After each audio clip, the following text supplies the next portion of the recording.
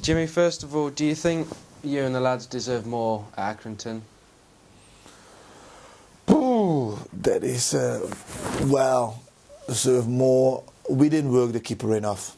We didn't work the keeper enough. So, um, if the keeper would have made a lot of saves, then I would have maybe said yes.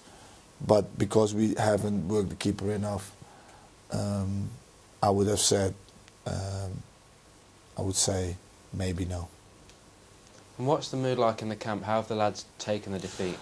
They're disappointed. They're disappointed. You know, uh, that is that is always you know the case. Um, obviously, you're full of confidence and you think that you're invincible, and and that's the danger. You know, that's the danger, and and uh, they're good lads. They want to win.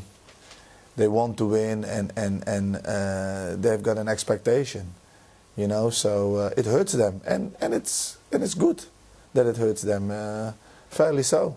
So uh, yeah, they can put all their frustration into the next match. Is it going to be strange for you and the team preparing for a game coming off the back of a defeat because you would have only done it once before since you've come in? No, uh, uh, strange. No, uh, it's just one of those things. Uh, we are gonna do things the way we do it. You know, uh, I'm not gonna change now out of a sudden because we uh, we haven't won. Um, the preparation is gonna be more or less the same.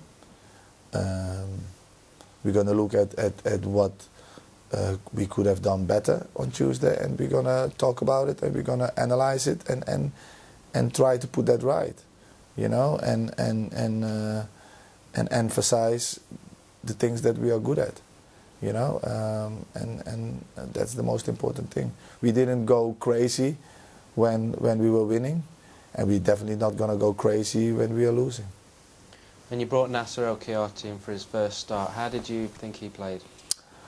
It was difficult for Nasser. Uh, was difficult. Uh, um, do I expect more from him? Yes. Can he deliver more? Yes. Does he need to deliver more? Yes. Um, but it was difficult for him. But uh, technically, uh, he's just a very good player. Um, he's different than the others, and uh, I think uh, in, in in the long term it will give us the edge. And finally, what kind of game do you think Newport will be? Well, Newport is a physical side who have got a lot of energy, uh, who uh, have got uh, a few uh, forward players who uh, who like the space and and and uh, want to run. Um, a, is a good side, so they will give us a good test.